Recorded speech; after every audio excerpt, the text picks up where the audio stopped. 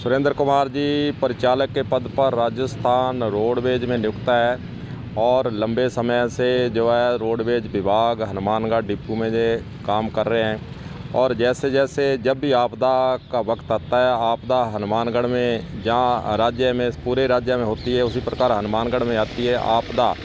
जैसे corona lockdown जो है पिछले वर्ष भी लगा था और इस वर्ष भी लगा है।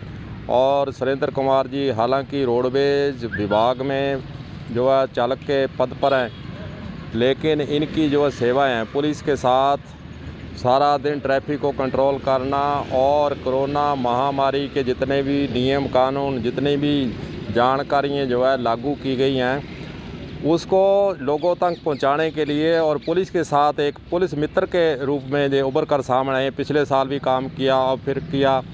इनसे बातचीत का सिलसिला शुरू करते हैं और पूछते हैं इनसे कि ये जो आपके अंदर मन की इच्छा हुई, किस प्रकार हम पुलिस के मित्र बन के सेवा करें, उसका क्या उद्देश्य है और कैसे आपने शुरू की? हाँ सर, मेरी ये गाड़ी थी और लॉकडाउन में ये गाड़ियाँ बंद हो चुकी हैं। देखो, ये सामने सब गाड़ियाँ खड़ी हैं, ये सब बंद हो चुकी हैं।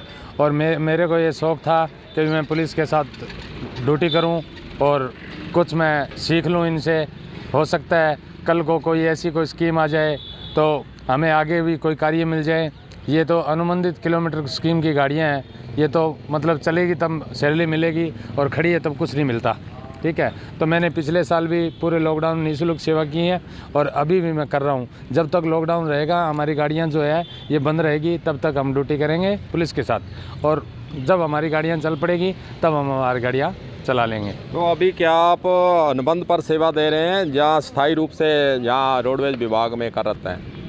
ये अनुबंधित है अनुबंधित पर अनुबंधित है। अच्छा तो आपके मन के अंदर कैसे भावना जागी? लोग तो अनुबंधित जैसे रोडवेज़ आप पीछे में दिखाना चाहूँगा रोडवेज़ रोडवेज़ लॉकडाउन के दौरान खड़ी है और इसके जो चालक परिचालक हैं सब अपने अपने घरों के अंदर बैठे हैं और सरकार के नियम हैं कि आप घर के अंदर बैठे लेकिन आपके मन के अंदर कैसे आया ये लोग बैठे हैं ना? जो ड्राइवर है परिचालक हैं चालक हैं सारे रोडवेज़ के बैठे आपके मन में क्यों आई है ऐसा है सर ये पिछले लॉकडाउन में 22 तारीख को ये जनता कर्फ्यू लगा था। उस टाइम हमारी गाड़ी जयपुर में थी और हम यहाँ 25 को पहुँचे। उसके बाद में घर जाने के लिए कोई गाड़ियाँ नहीं थी तो हमने यहीं रोक ली ये लगा के भी पाँच दिन में, दस दिन में चलेगी। तो मैंने मतलब ये बाईस को जनता कर्फ्यू लगा था, उसके बाद में एक को यहाँ पुलिस में ज्वाइनिंग मेरे मेरे पास यूनिफॉर्म थी और ये आर के बेंच भी है नेम प्लेट भी थी, जूते भी थी। इसलिए मैंने ये सोचा मेरी मन की भावना कि पुलिस यहाँ ड्यूटी कर रही है तो हम भी इनका सहयोग करें। ना कि पैसे का कोई लालच नहीं है और निःशुल्क सेवा की। और ये देखा कि ये गाड़ियाँ जब चलेगी तो हम गाड़ियाँ निकाल लेंगे। तब तक ये लॉकडाउन लग रहा है। तब इनके पुलिस के साथ हम सेवा दे रहे हैं। तो सुरेंद्र कुमार जी, आप लंबे समय से पिछले साल भी कोरोना के अंदर ड्यूटी देते रहे। पुलिस के साथ मिलकर जो है ट्रैफ़िक कंट्रोल करना, जो जो है कोरोना गाइडलाइन की पालना करवाना आपका अनुभव क्या है? क्या लोगों के मन के अंदर कोरोना गाइडलाइन पालना करने के लिए आप रोज़ जहाँ पुलिस के साथ पुलिस चलान भी काटती है, देखते भी होंगे, लोगों के अनुभव भी होंगे, लोग जो है आगे से बोलते भी होंगे ओढ़मा भी देते हैं। किस तरह के आप कंट्रोल कैसे कर पाते हैं? क्या आपके क्या सिखाए यहाँ? ऐसा है जी पीछे लॉकडाउन में जब मैंने पुलिस के साथ ड्यूटी की है तो पुलिस का व्यवहार देखते हुए लोगों को कैसे समझाइश की जाती है पुलिस कैसे समझाइश करती है उनसे तौर तरीके जो पुलिस के हैं हमने पीछे लॉकडाउन में तो सीख लिए।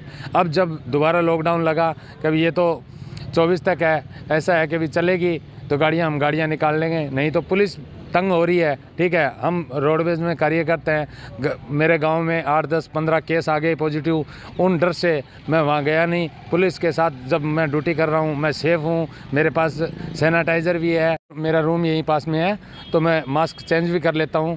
ठीक है, और मेरे पास दो वर्दी है। अब एक शाम को मैं धो के रख दूँगा और दूसरी मैं सुबह पहन के आ जाऊँगा।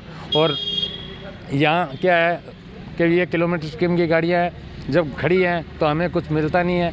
तो इससे हम यहाँ पुलिस में ड्यूटी करते हैं तो सुबह मैं मेस में खाना खा के आता हूँ और यहाँ दिन भर में जो चाय आती है, कोई ठंडा आता है, पानी आता है, वो हम इनके साथ मैं पी लेता हूँ, ठीक है? और मेरी टाइम पास हो जाती है, मैं शाम को मैं मेरे रूम पे चला जाता हूँ, सुबह आठ बजे से ड्यूटी होती है, शाम को आठ बजे तक ड्यूटी करके और मैं मेरे रूम पे चला जाता हूँ। तो ये थे सुरेंद्र कुमार जी, जो कि पिछले लॉकडाउन में भी पुलिस के साथ पुलिस मित्र बनकर सेवा करते रहे, निःशुल्क सेवा करते रहे, और अब फिर लॉकडाउन लगा है। रोडवेज़ की गाड़ियाँ खड़ी हैं, अनुबंधित की गाड़ियाँ खड़ी हैं, और समय समय का इन्होंने कहा कि समय का सदुपयोग आवश्यक रूप से करना चाहिए, और पुलिस का साथ देना चाहिए। पुलिस के साथ मिलकर, कंधे से कंधा मिलाकर, जो कोरोना गाइडलाइन की पालना करने के लिए पुलिस लगी हुई है, उसमें सहयोग भी करना चाहिए, लोगों को समझाइश भी करनी चाहिए तो आप कलम न्यूज़ से जुड़े सुरेंद्र कुमार जी आपका बहुत बहुत धन्यवाद।